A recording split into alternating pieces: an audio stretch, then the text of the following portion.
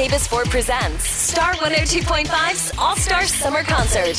Having fun here. I'm telling you, this is a blast. The Spazmatics were on stage. They opened the show this afternoon, did an awesome job. You guys totally spazzed out on stage. You guys did great. Yeah, it was it was really neat up there, and, and I think people li- really loved us a lot. I really, I really, uh, I believe that, and uh, so yeah, we're looking forward to seeing a lot of the other bands too. But people really loved us, didn't they, Sherman? Yeah, I thought I saw my uncle.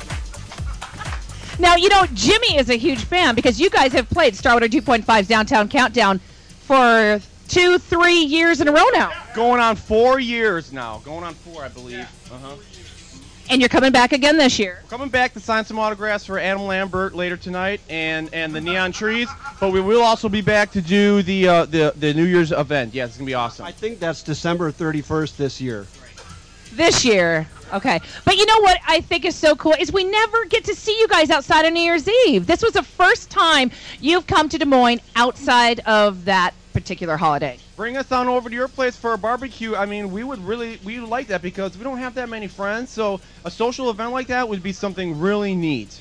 You're not socially awkward though, are you? I don't think so. Are, do you think I am? I think you guys are fabulous. gefilte fish.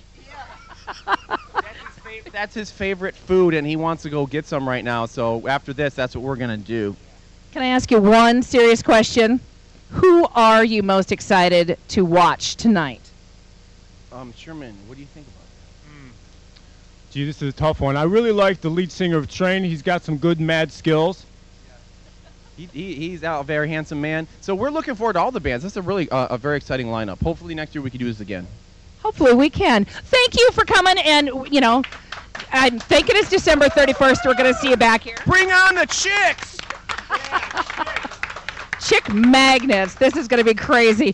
We are broadcasting live from Star 102.5's All Star Summer Concert. We've got Ryan Star coming up in just a few minutes. We're going to have a chance to talk to him. And of course, taking the stage in like five minutes, Green River Ordinance. This is so much fun. And I got my man Jimmy right here. Jimmy. Yeah, that's and you know, and it's really exciting day here today because if you pick up your cell phone and text the word concert, C O N C E R T, if you text that, uh, you can get the latest information and also a chance to VIP seating too.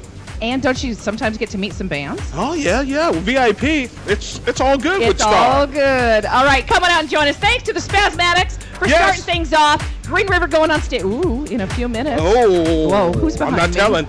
I'm not telling. I'm not Nope. turning around. All right, in a few minutes, hopefully, we're going to talk to Ryan Star on Star 102.5.